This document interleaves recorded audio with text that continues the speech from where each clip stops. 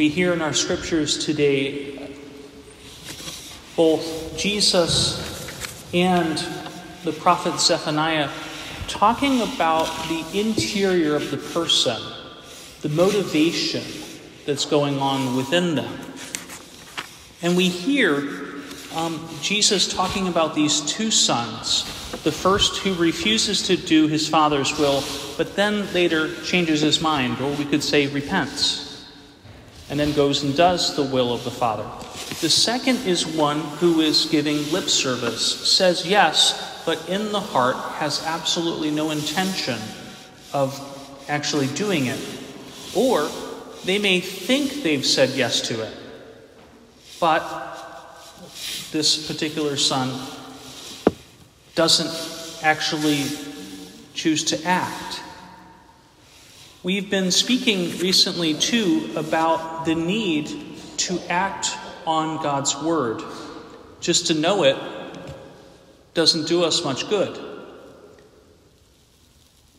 But we want to be sure that we see a, a small danger in the spiritual life for all of us. And that is the times where we um, consider ourselves righteous simply for hearing the word of God. These words from the book of the prophet Zephaniah Woe to the city rebellious and polluted, to the tyrannical city. Now, this was a huge slap in the face to Jerusalem. She hears no voice, accepts no correction, and the Lord she has not trusted. To her God she has not drawn near. And all of us face this same kind of dilemma where we might put our trust actually more in ourselves than in God. And yet, the good thing is this it's a part of the journey. It's when we discover this that then we can begin to go deeper in our conversion. We can begin to go deeper into what God is calling us to because we know very well in the spiritual life, and the saint that we celebrate today, St. John of the Cross, speaks about the spiritual life in this way that first God will draw us with rewards.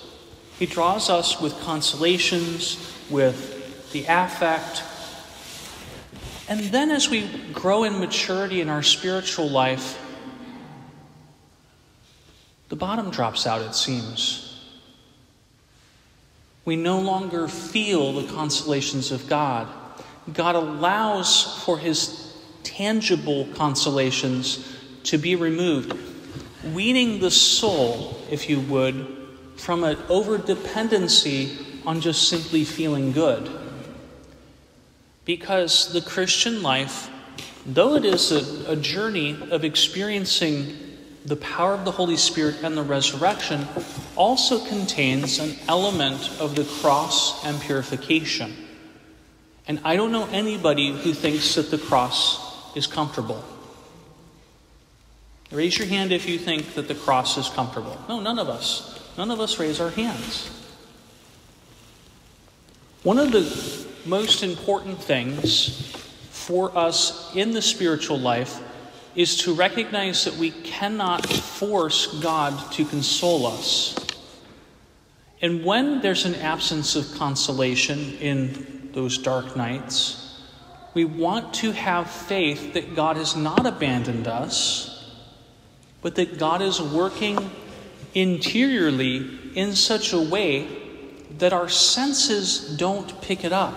Because again, we want to remember human nature is that the senses are typically geared toward the outside of the person.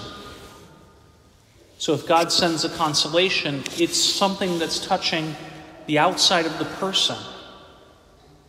But if there's no consolation like that, no tangible consolation or affect, then God is purifying from within, asking for deeper trust. Because this life is not a life of zero problems.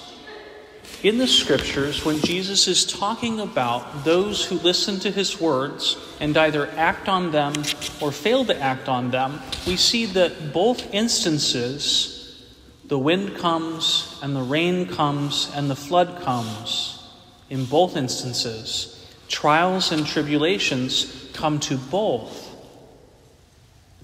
Yes, it may be true that if we're walking with God, God might spare us from some trials, from tr- some tribulations, but that doesn't mean He spoils us. We face trials, we face the cross. The question that comes to us all is will we make the ultimate act of faith of denying that we're the ones who have everything figured out and can control everything. To then enter into what the Lord is calling us to that's even deeper. As St. John of the Cross speaks about the dark night of the soul, he, he talks about an experience of this union with God that isn't based upon his own actions. It's not based upon him being the one to meditate into some kind of grace. It's instead the complete and total operation of God. And so, brothers and sisters, we want to ask and invite the Lord in. We want to ask the Lord to give us the grace that we need to recognize when we say yes but actually mean no to Him. And then to give us the grace of contrition, and also the grace of deciding to do something different and helping to say yes to God and actually going and doing something about it. And secondly, we want to ask the Lord for the grace to even more allow Him to be Lord in our life. But even more than just Lord, because Lord can sound like a slave driver. For him to be, that is the Lord Jesus, for him to be our spouse.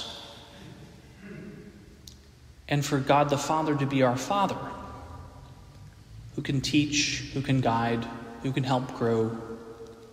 And the Holy Spirit to be our mother, who can teach, who can instruct, who can correct.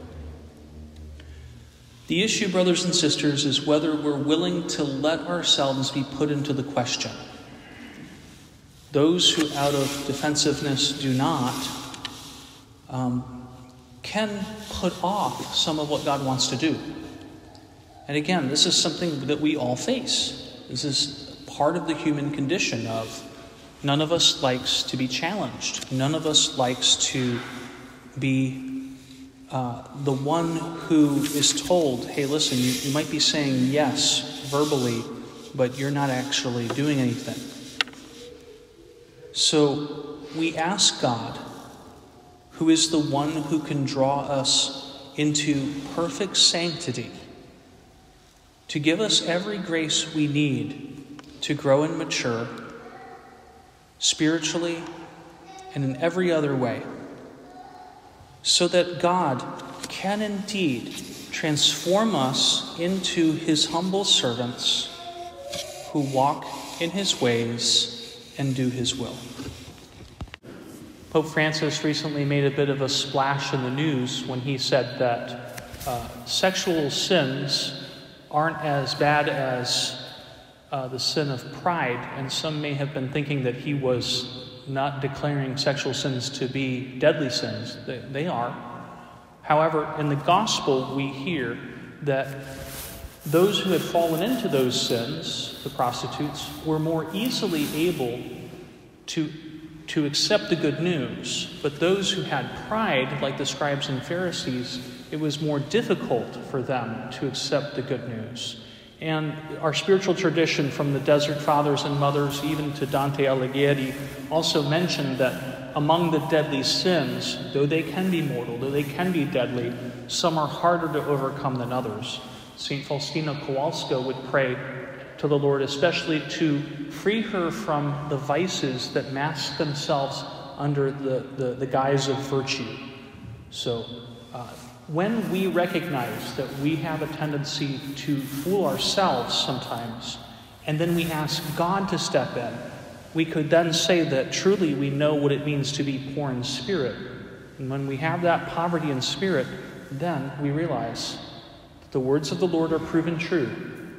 Blessed are the poor in spirit, for theirs is the kingdom of God. God gives to the humble, He gives more. He blesses and He helps us.